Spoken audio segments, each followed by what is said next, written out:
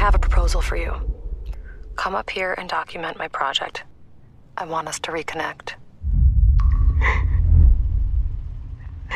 Why are you doing this to me? Drink it. What's your project? I can't tell you. I need to show you.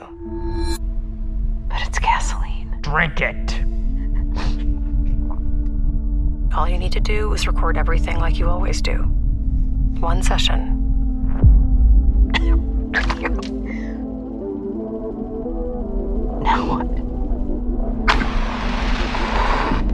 Open your throat.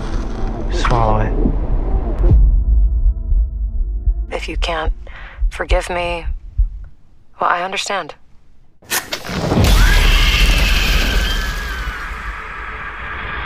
There's nothing dangerous about what you're doing. They're just dreams.